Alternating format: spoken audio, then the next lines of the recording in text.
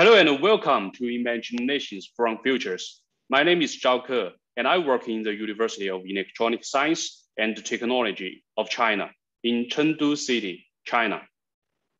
I also work as the co-chair of the UMAC Futures, which is an organization of young scholars from university museums around the world. Today, I'm so glad to start this new project named the Imaginations from Futures. We plan to make online talks with young scholars from different university museums from different countries and districts. This project is a description and observation of the current image by the young scholars, and also the imaginations from them to re-image and reconstruct the university museums after the pandemic. And I believe it will bring more hope, energy, and vitality. So it is Chengdu time, 8 p.m., and it's 9 a.m. Buenos Aires time, where our guest speaker is. Let's welcome Mariana Santamaria from the Physics Museum of the National University of La Plata, Argentina. Mariana? Hello, so hello everyone. Okay. Good morning for us.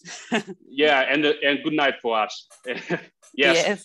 it's, it, it's you know it's very interesting because it's the second stop of our online talk, and uh, China is just the antipodes of Argentina. You know, the opposite side of the on Earth. You know, so it's very very interesting. Our online talk moves moves to the South globe, right? And, and uh, um, yeah. Yes, it's very interesting. And it's a delight to have you here with us today to share your experience, your research, and your ideas about university museums from the perspective of young scholars. So, Mariana, could you please give a brief introduction of yourself and your institution, please? Okay, uh, well, I have been a museologist, museum uh, of the University of La Plata for 10 years now.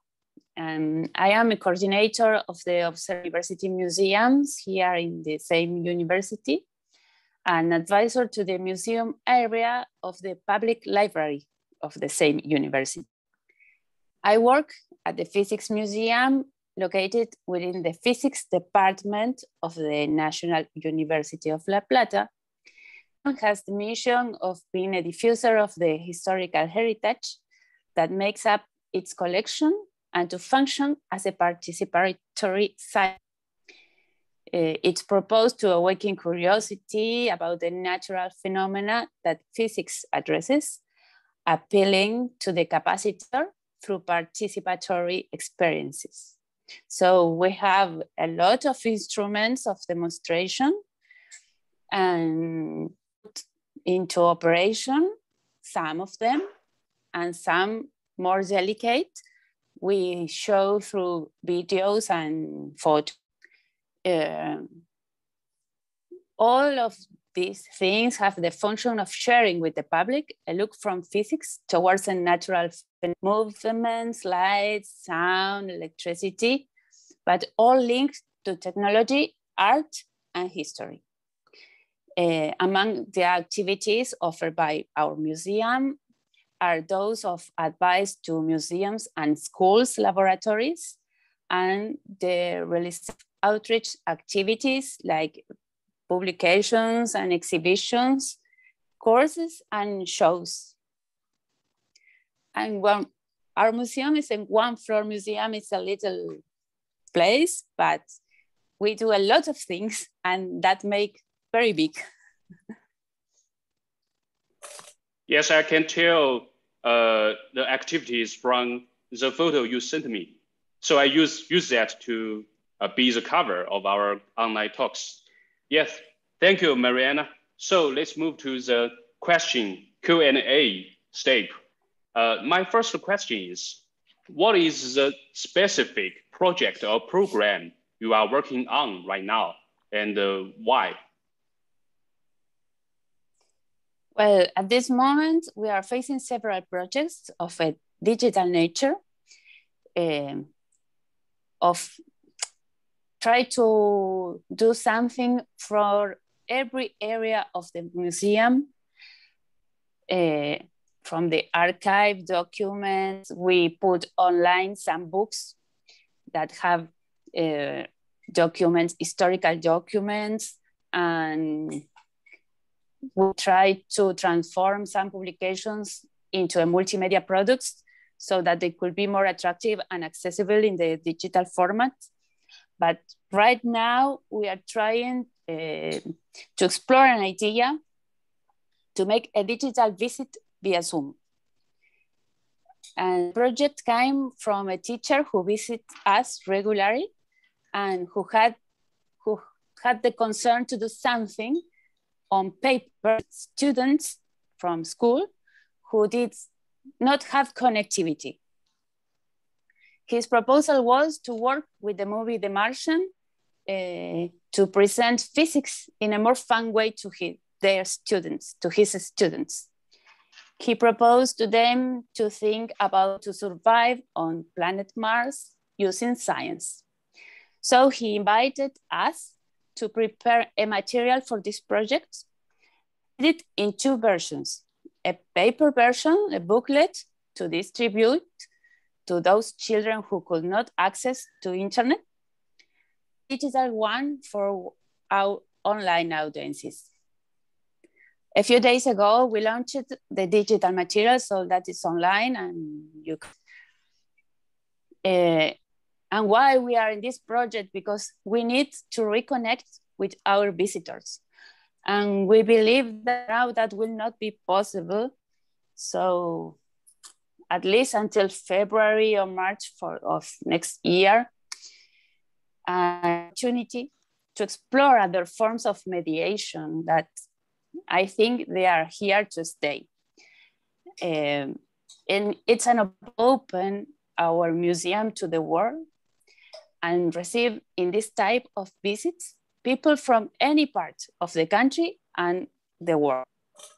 So it's something really new to us and it's taking time of learning and getting started, but we are very excited, especially teachers again, and be able to interact with them in some way again. Yes, thank you. Thank you, Mariana. And I, I, I can understand there are much more uh, work for you and for your colleagues, but it means a lot because you just now you mentioned that you reconnect with uh, visitors from all over the country, right? Use the digital, uh, digital work, put your books, put your archives and objects online. And you also support the uh, research and the teaching. And uh, that is in my opinion, online teaching is like a trend we cannot avoid, we cannot stop, but we can use online teaching and offline teaching uh, way, uh, in, in a combination way, maybe in the future after the COVID-19, right? So uh, yes, you, you, you, you guys, you, you and your colleagues did a quite great job, I think. And, and, and uh, it, it's, it's an example for us, yes. Thank you. And uh, let's move to the second question. Uh, that, that is, if you are creating an exhibition, I don't know if you, you and your colleagues are creating an exhibition. If you are, what object do you want to connect or display most related to the past two years experience? Because uh, the past two years experience is a very unique one. So what object do you want to connect or display in this exhibition? Okay, it's a, it's a very interesting question that makes me think a lot. Uh, I think I have two options. Okay. One, it's uh, one is about what's happening in my faculty right because in March 2020 uh, was formed a group, COVID Exactas, and it was a, an initiative promoted by the scientific community itself and it was born to provide answers and face the health crisis. And from this project came a design and development of a vaccine against COVID. So I think I will choose those instruments from the collection uh, that will help tell this current story.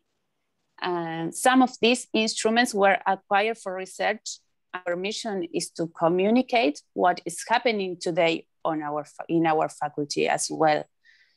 So I would like to make in objects and stories from the past to tell the advances and research that is happening today. And the other, maybe the instruments of communication, you know, the telegraph, the telephones, because how communicate if we can't see each other uh, in the past? Well, we can show this telegraph, um, I don't know, different ways of communication um, before internet. Okay, so that, uh, those two objects are your choices, right? Yes, very nice. Very. Yes, yeah, uh, two options. Two options. very brilliant, brilliant.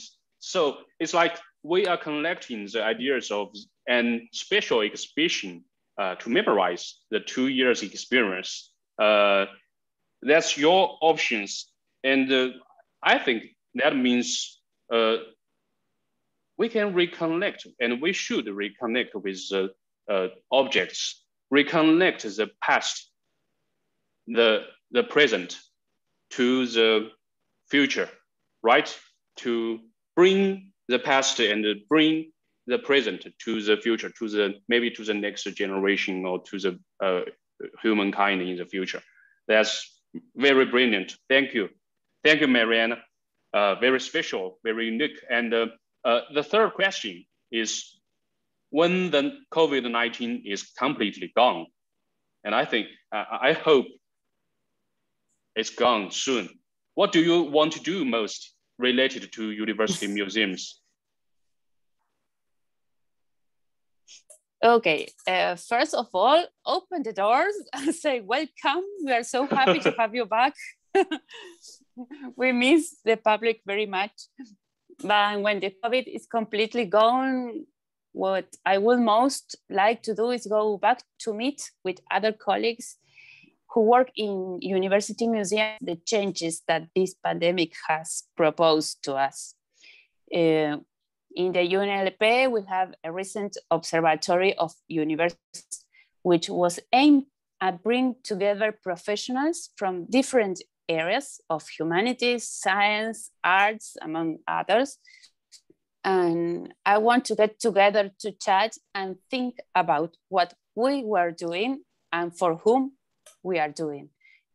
Um, after what we have experienced, I think it's vital to return to the meeting and reflect, reflection to embark on a path that allow us to apply these lessons always having our visitors as our center. And I will also like to do some activities to bring university museums closer to the people, to our community. We are not so visible and this pandemic makes more invisible and we try a lot to be online and on the social networks and do a lot of work to be there. So I think we need to connect, connect with the people of our community more. Thank you. Thank you for your answer. And that is also my uh, hope and faith to, to do so, to reconnect with uh, visitors and to closer our colleagues around the world, right? Uh, to break more boundaries uh, between us. Yes, it's, it's yes. also the option from from one of your. Uh, uh it, it's also the object from one of your options, right? Okay, okay. So uh, break uh, in terms of the communication. or uh, between us. I think the first, the, the fourth question is very interesting because it's kind of a relay question. I call it question in a bottle, sort of message in a bottle, because it's from, it's from the last guest speaker. Uh, she is Eva from Czech Republic. We did the interview two year, two days ago, and she she asked a very interesting asked asked and very interesting question, um, and that is, what is the most impressive experience in the audience engagement in your work? Or uh, other way, what is the best tool for you to do audience engagement in your work? That, that is the question from for Eva. Audience from, engagement? Yes, audience engagement. What is what is your what we most, do? Yeah, what is the most impressive uh, experience in your work? We have a night called the Museum's Night. Yeah. That night we we engage with our visitors and our people in different ways. Mm-hmm. And it's great because we really connect with people and engage with them because came families, older people, children, all type of people came to our museum. And we offer not only, we not only show our uh, collections, uh, but we do some shows and experience alive and we have a, a lot of stands of projects uh, from it's a very nice happy and fun night. And that was the most engagement project that we our people our public. Because it's uh, so diverse and so mixed of experience. Uh, there is art, there is science, there is history, there is music, and all trying to communicate. Uh, okay, okay, uh, get it. So your answer is uh, museum night, right? Because it bring not only just one type of visitors, but also the family, different kinds of people, and they, they can have uh, uh, uh, in a very relaxed atmosphere to enjoy the uh, happiness from the museum, right? And to to watch the uh, to watch the object, to learn some knowledge from the guys, and uh, to talk with the families, talk with their friends. So it's it's it's kind of just life in the museum. It's just a light. Yeah. Yes. Yes. Yeah. I it's love this the one. night that we can get closer to yes. to that people. Yeah. Okay, and uh, I think it's a very nice trial, and many uh, museums do that, do that in China. Yes. Okay. Thank you. Thank you, Marianne. That is the last question. And uh, we, uh, to keep to keep on the relay question, please ask your question to the next speaker. Maybe the next speaker is from Japan or from North America or somewhere uh, to, be to be continued. And what is your question to him or her? Okay, my question is, what positive aspect you can you recover from what you during the pandemic. And will it change your work at the museum? Okay, okay, I, I, I get it. I get it, the question and I, I cannot answer uh, now. Let's just uh, wait for the next speaker and I will tell you the answer of uh, him or her. And, and uh, also you, you can watch the video maybe in the YouTube uh, several days later. And, and uh, I think it's uh, very interesting because the connection from Czech Republic come here to Argentina and uh, it will go to anywhere on earth, right?